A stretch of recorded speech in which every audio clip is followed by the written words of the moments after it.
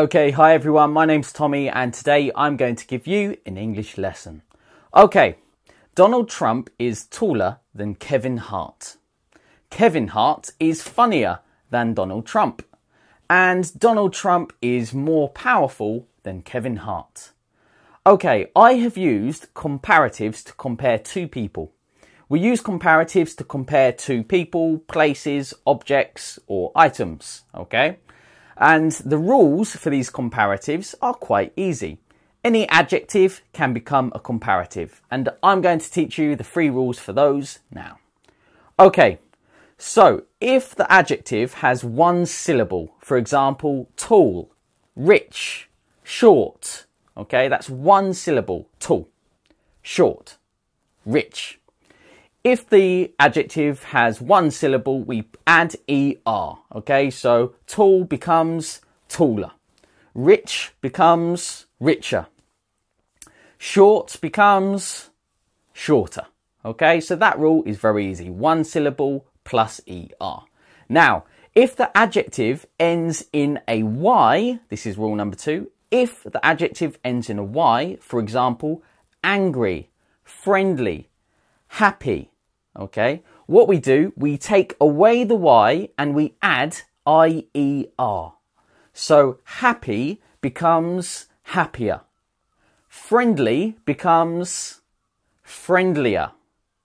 Okay? And what was the other one I said?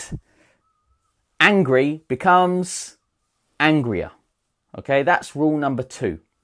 Rule number three if the adjective has more than one syllable and does not end in y, for example, beautiful, difficult, interesting. Okay?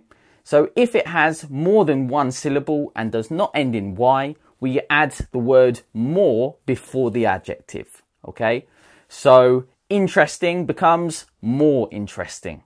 Beautiful becomes more beautiful.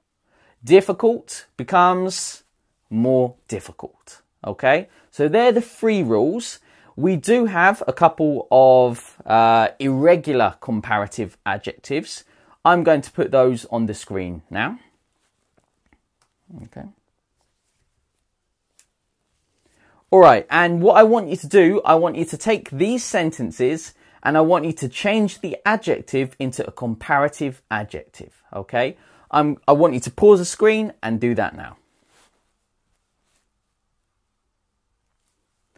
Okay, perfect. Now, uh, what I want you to do, I want you to help me and like the video because it really helps my channel. Subscribe if you want more English lessons.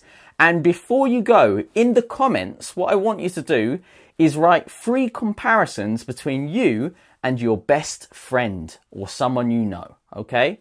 So, for example, I am funnier than Dave. That's an example. Okay? In the comments, write your three comparisons. Okay, thank you very much, and I will see you tomorrow.